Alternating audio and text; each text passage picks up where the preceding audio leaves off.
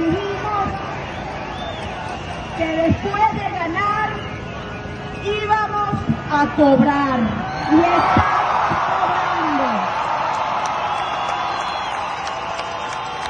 Estamos cobrando. Hoy el mundo entero sabe lo que sabemos los venezolanos.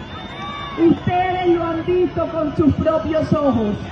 Cada una de las de votación emitidas por el Consejo Nacional Electoral en las mesas del 28 de julio, que son la prueba irrefutable, irreversible de que ganamos el 28